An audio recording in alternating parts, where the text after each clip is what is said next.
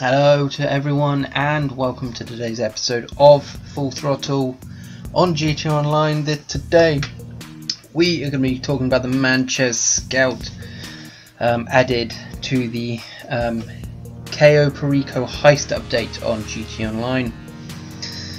The Manchez Scout is a motorcycle featured in GT Online added to the 1.52 Cayo Cayo Perico heist update. The design of the Manchez Scout is based on the 500cc KTM.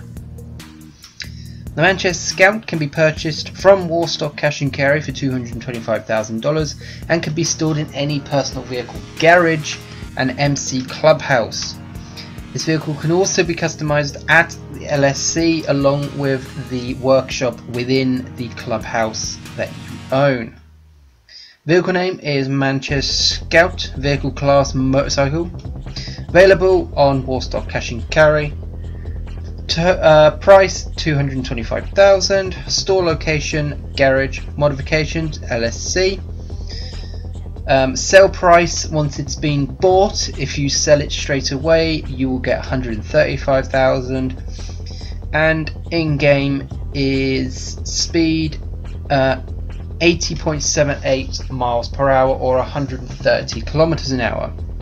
Only seats one, which is a bit odd. Uh, rear wheel drive and has five gears. Now, from personal experience from this uh, motorcycle, um, this thing can wheelie like a long, long, long time, even at the slowest of speeds um, and also it seems to be able to turn pretty well. Um, I don't really know of any bike that does wheelies like this or can turn like this while doing a wheelie.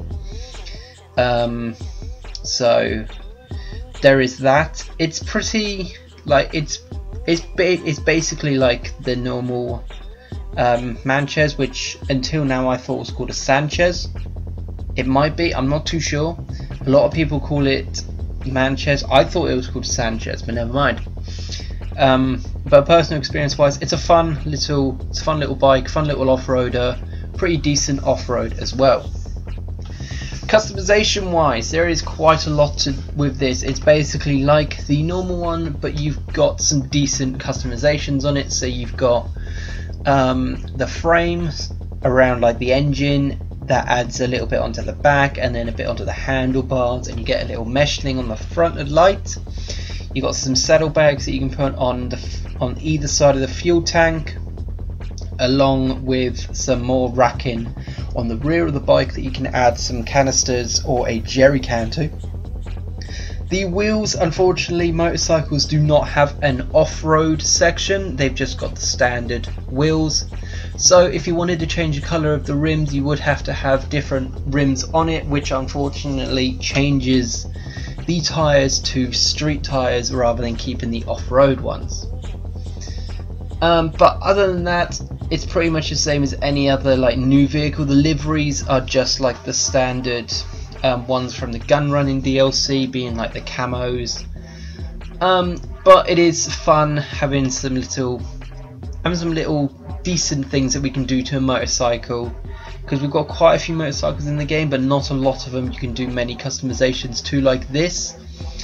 Um, why it's one seat I'm not too sure. They could have added a rear racking option as in to get rid of the rear racking and add a seat but whatever performance wise um, well, it's basically a dirt bike. It handles how you think a dirt bike would go, but I don't really, I haven't really done motorcycles on the test track, but I've put it around the test track anyway, just to show you what it's like. It has got a little bit of understeer at high speed, but I'll show you that now.